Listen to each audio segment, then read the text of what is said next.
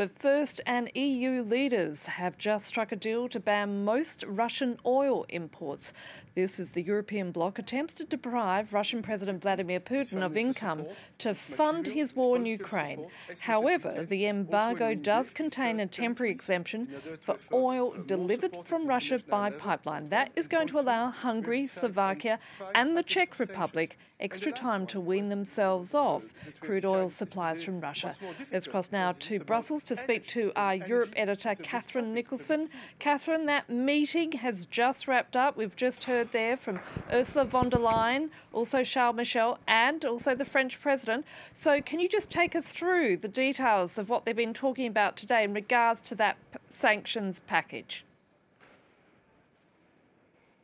Indeed, yes. Uh, these EU leaders uh, celebrating, I think we can say the fact that uh, the 27 leaders of the EU member states uh, did manage to come together around this sixth EU sanctions package against Russia uh, since February 24th when Russian forces invaded Ukraine. Uh, President Macron stopping to give a few comments on his way out of the summit. again, joining in with that uh, that that uh, sort of celebration, uh, if we can say that, of those sanctions. He said that you know uh, just a couple of months ago this might have been unthinkable, and he said that by the end of the year, 92% of uh, the EU's oil imports from Russia uh, will be stopped. Now, this is because the EU is stopping all imports of Russian oil coming into the EU by sea.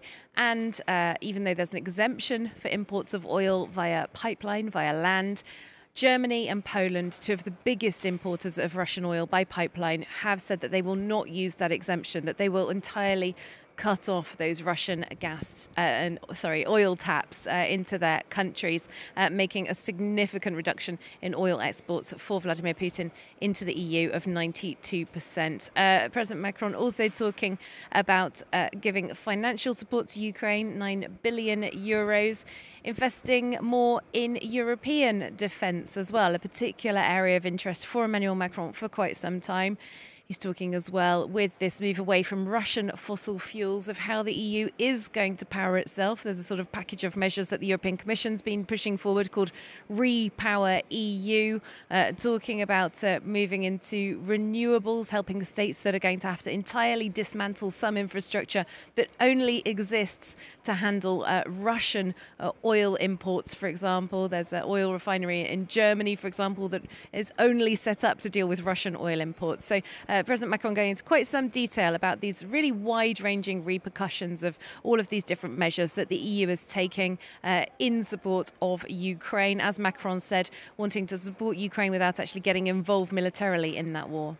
And as well as this historic deal in order to cut uh, oil supplies from Russia, the leaders have also been talking about food shortages being caused by the war in Ukraine. Mm.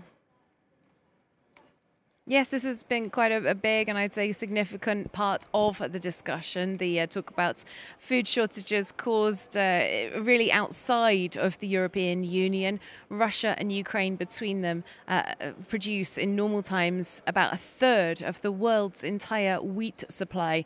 There's also supplies of uh, sunflower oil, cooking oil, other grains, other cereals from Russia and Ukraine that have been drastically disrupted by the war. So, President Macron telling us that the European Union is going going to work together with Turkey and also with the United Nations on trying to get out 20 million tons of grains and cereals that are currently held up in Ukraine. Uh, Turkey, a key player, of course, because of its geographical positioning uh, on the Black Sea. Uh, also, talking as well about stopping certain states from stockpiling food and uh, allowing it to flow out to places where there is immediate need right now.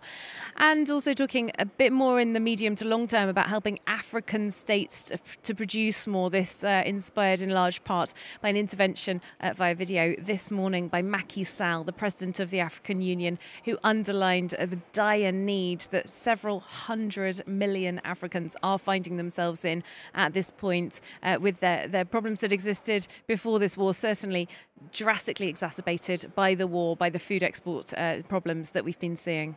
Catherine Nicholson reporting there from Brussels. Thank you.